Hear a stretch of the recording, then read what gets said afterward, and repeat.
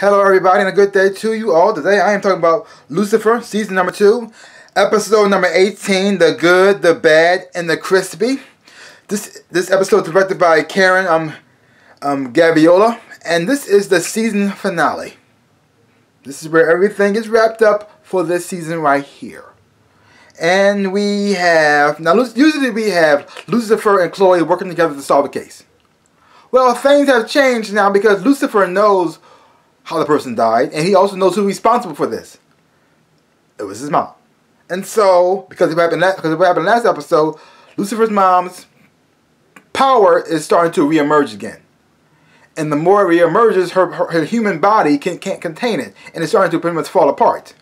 Well, she gets stabbed last episode, and some of her light comes out, and it burns the guy's face off, and he dies. Well, that's must have way to go, but that's what happens. And so they so, so they find the body, and then Lucifer realizes, uh oh, oh no. So he's trying to do everything he can to make sure that his mom does not get caught. Because if his mom goes to jail, we all die. We all die. So you got so so instead of them working, instead of Lucifer and Chloe working together, they're they're, they're working separately this time. And Chloe knows knows something's off, he knows something's wrong, but Lucifer's not really telling her exactly what's going down because she knows that she's not ready for that. Yeah.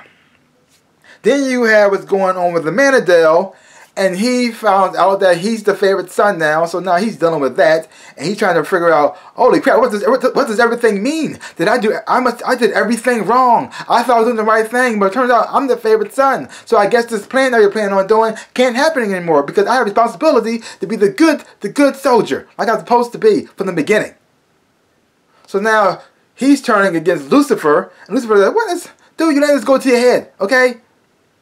You're not dad's favorite son. He just uses you like he uses me. Calm down.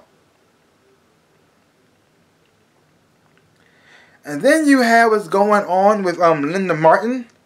And Linda knows what's going on with Lucifer and what his plans are and what his agenda is because Lucifer tells her everything. And so that caused her to have a problem with Charlotte because Charlotte doesn't know what, what Lucifer's planning on doing because Lucifer, uh, Linda had a little slip up and because of that, got into a whole lot of trouble. Yeah, not good. Not good at all. And then you have the ending. Now, the ending part of this episode, this part is going to be a spoiler. I'm not exactly sure what exactly happened, but I'm intrigued. Now, Lucifer burnt, got rid of his wings when he came to Earth a long time ago. He got rid of his wings, and when he found his wings, he destroyed them. Got rid of them. But now he decides to tell Chloe everything about who he is and everything. And then he gets knocked out. He wakes up in the desert with no shirt on, all bruised up. And then he has his wings back. Now, as, I don't know exactly what happened. How did his wings come back? Who put them there? How, how did he get them back? Was it God? Somebody else? Another angel? I don't know. But he has his wings again. What does this mean? Does this change anything? Again, I don't know. We got to find, find that out next season.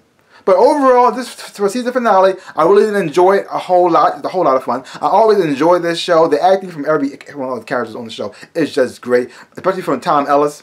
He does an amazing job as Lucifer. He's the he's the person that you want to watch and see the most. And then you have other characters on the show who also do an amazing job. You have um um DB Woodside as the Amenadiel. I enjoy his relationship he has with Lucifer, and I also like the relationship he has with Dan in, um, in the season so far. He, he'll have fun there. Especially the funny part when him trying to do improv and not understanding nothing at all what's going on.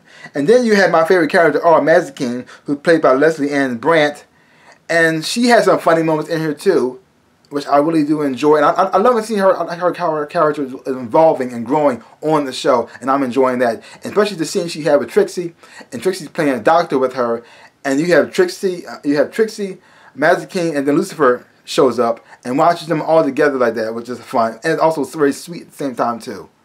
And then you have like Linda Martin, played by Rachael Harris, and I'm I have been enjoying her on the show since the first season because she can be funny at times too, bring a comedic element, but she also brings a, a, a, a dramatic dramatic element to the table as well. I, I, really do enjoy, and I enjoy how she bounces off of Lucifer and Mazikeen when they when they interact with one another because she knows what's going on and she's powerless to do anything about it really, and she's freaking out because she knows the scale of what's going to happen when things go down, but she can't tell anybody.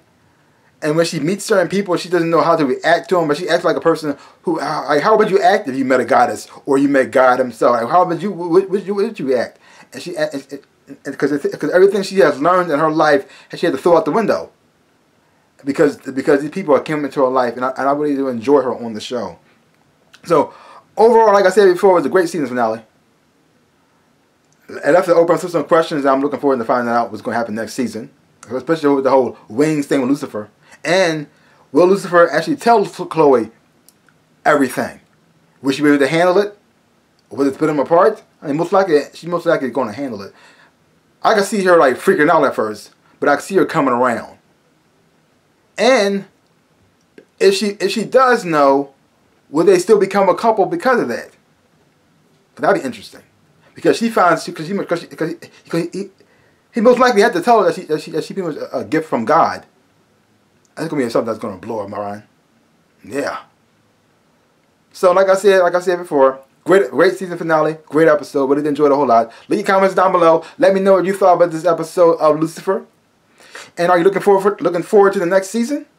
And if you um, haven't been watching this, check it out for yourself. Don't take my word for it. Hopefully when you watch it, you will enjoy it and have fun watching it too. So that's pretty much all I got to say about that. So give my channel the big old like, hit the thumbs up, mm, boom, and subscribe to my channel and share.